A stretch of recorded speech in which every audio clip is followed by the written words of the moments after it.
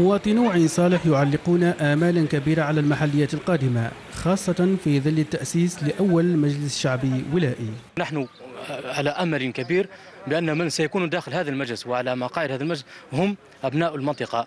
الذين يحملون هموم المنطقة بكل انشغالاتها وانشغالات مواطنيها الذين انتظروا من يمثلهم في مثل هذه المجالس الولائية. ونتمنى إن شاء الله أنه سيكون نقطة انطلاقة يعني لآفاق تنموية يعني رائدة في منطقة تديكلت إن شاء الله لأننا نطلبوا من ربي سبحانه أنه يكون مجلس ذا كفاءة وفعالية. مقر المجلس الشعبي الولائي مجهز بمختلف الوسائل والتقنيات الحديثة اللازمة لتسهيل مهام المنتخبين مقر الشعبي الولائي مقر هام جدا.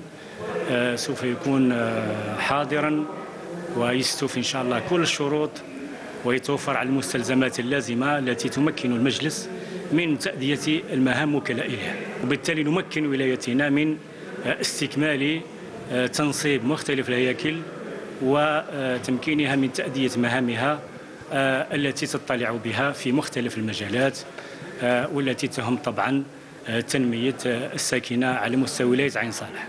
أول مجلس شعبي ولائي بعين صالح لبنة أخرى للتنمية المحلية والتكفل بانشغالات ساكنة المنطقة.